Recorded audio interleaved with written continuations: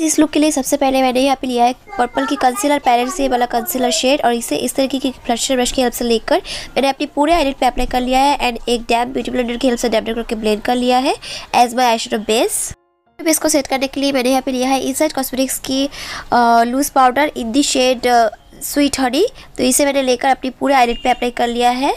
Guys जैसे कि आप लोग मुझसे पूछ रहे थे कि स्विस ब्यूटी की pro thirty two colours eye shadow palette forever eye shadow palette से कौन सी वाली शेड आप as a highlighter as a blusher and as a bronzer use कर सकते हो?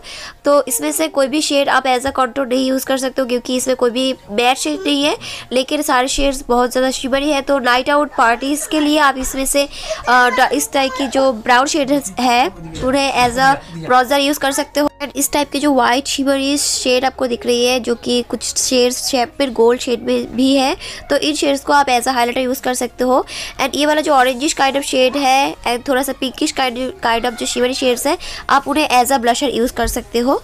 सो so गाइस आप इस पैलेट को नाइट टाइम के लिए यूज़ कर सकते हो, लेकिन डे टाइम के लिए आप इसे एज अ ब्लशर बहुत ही मिनिमम अमाउंट में लेकर अप्लाई करके यूज़ कर सकते हो।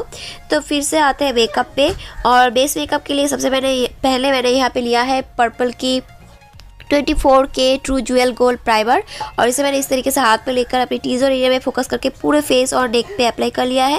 And again same concealer palette से ये वाला जो कंसीलर शेड है, इसे लेकर सिर्फ़ अपनी अंडर आई एंड जहाँ जहाँ पे पिगमेंटेशन है, जहाँ जहाँ पे लीड है, उन एरियाज़ पे इस तरीके से अप्लाई करके डैम ब्यूटी ब्लेंडर की हेल्प से ब्लेंड कर लिया है। एंड सेम कंसीलर को ही मैंने अपनी नेक एरिया पे भी अप्लाई किया है, क्योंकि इस लुक के लिए मैंने कोई भी फाउंडेशन नहीं अप्लाई की है। तो कुछ इस तरीके से अप्लाई करके मैंने डैम ब्यूटी ब्लेंडर की हेल्प से डैम करके बहुत अच्छे से ब्लेंड कर लिया है। पूरे बेस मेकअप को सेट करने के लिए मैंने यहाँ पे लिया है सेम इनसाइड कॉस्मेटिक्स की translucent powder in the shade sweet honey तो इसे पाउडर ब्रश की हेल्प से लेकर पूरे फेस और नेक पे मैंने अप्लाई कर लिया है। नेक्स्ट मैंने यहाँ पे मेकअप रेवोल्यूशन की highlighter bronzer and blusher palette से ये वाला जो कॉन्टोरिंग या फिर ब्राउज़र शेड आप इसे बोल सकते हैं इसे इस तरीके से लेकर बहुत ही लिटिल अमाउंट में कॉन्टोरिंग की है यहाँ पे क्योंकि आ, अगर आपको बहुत ज़्यादा डिफाइन एंड फीचर्स लुक चाहिए यानी कि बहुत ज़्यादा स्लिक लुक चाहिए तो आपको कॉन्टोरिंग करना ही है। वरना आपकी जो पिक्स वगैरह होते हैं फाउंडेशन के बाद यानी कि फाउंडेशन अप्लाई करने के बाद बहुत ज़्यादा फ्लैट दिखता है इसलिए कॉन्टोरिंग या फिर ब्राउज़र करना बहुत ज़्यादा इंपॉर्टेंट है। तो सेम ब्राउज़र शेड को ही मैंने स्मॉल ब्रश की हेल्प से लेकर अपनी रोज़ को भी थोड़ी सी शार्प लुक देने की कोशिश की है यहाँ पे। इसके बाद सेम ब्रश की हेल्प से सेम शेड को ही लेकर अपनी क्रीज लाइन पे भी अप्लाई कर लिया है एज माई ट्रांजिशन शेड इससे आई लुक भी बहुत ज़्यादा नेचुरल दिखती है। तो कुछ इस तरीके से मैंने अभी दोनों आइज़ पे अप्लाई कर लिया है। एंड अपनी लोअर लश लाइन पे भी सेम शेड को ही अच्छे से ब्लेंड कर लिया है।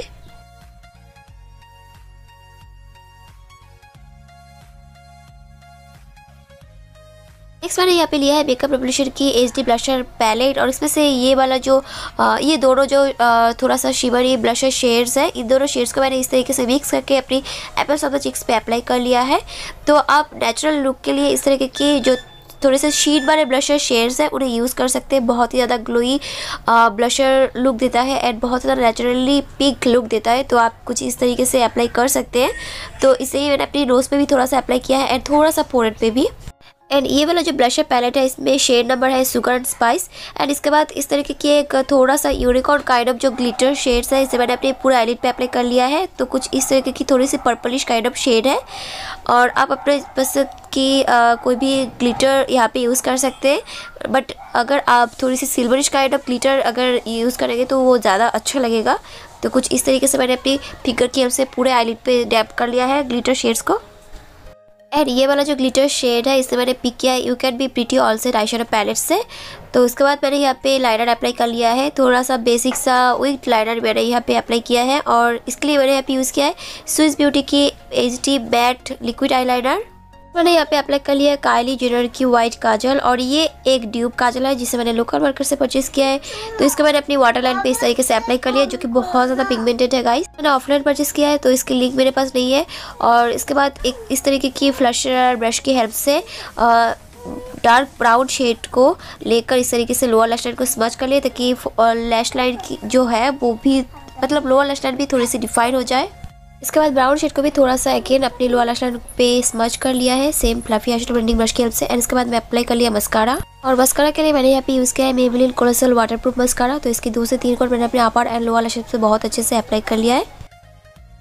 इसके बाद लिपस्टिक के लिए मैंने यहाँ पे अप्लाई किया है ब्यूटी पीपल की lipstick in the shade two thirty eight तो ये काफ़ी अच्छा nudish kind of orange shade है, जो कि बहुत ज़्यादा मैट है. तो कुछ इस तरीके से मैंने इसे अप्लाई कर लिया है.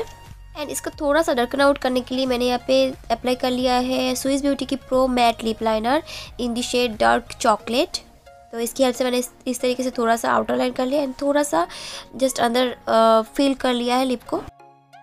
नेक्स्ट मैंने यहाँ पे कुछ इस तरीके से एक आईब्रो पेंसिल की हेल्प से, जहाँ जहाँ पे थोड़ी सी गैप्स आपको दिख रही है ईयर में, उन एरियाज़ को इस तरीके से फिल कर लिया है। इससे बहुत ज़्यादा नेचुरल लुक दिखता है एंड बहुत ज़्यादा अच्छा वाला लुक आता है। इसके बाद मैंने यहाँ पे लैशेज अप्लाई कर लिया है बट अगर आपको लैशेज अप्लाई करना पसंद नहीं है तो आप इसे स्कीप कर सकते हैं।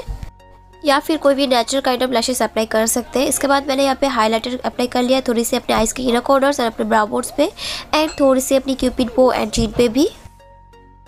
So yeah guys my final look and ये वाली जो लुक है, बहुत ज़्यादा सिंपल है, बहुत ज़्यादा गॉर्जियस है बट बहुत ज़्यादा इजी टू क्रिएट है. तो इस टाइप के लुक्स को आप किसी भी पार्टी के लिए, किसी भी फ़ंक्शन के लिए, या फिर जैसे कि अब new year picnic parties start हो चुका है तो इस टाइप के लुक आप क्रिएट कर सकते हो पिकनिक के लिए भी. सो गाइज़ आई होप कि आज की ये लुक एंड आज की ये वीडियो दोनों ही आपको पसंद आया होगा. तो अगर आपको लुक पसंद आ रही है तो मेरे चैनल को सब्सक्राइब इस वीडियो को लाइक शेयर एंड कॉमेंट भी ज़रूर कर दीजिएगा. सो मिलते हैं नेक्स्ट वीडियो में. Bye bye stay blessed happy thank you for watching guys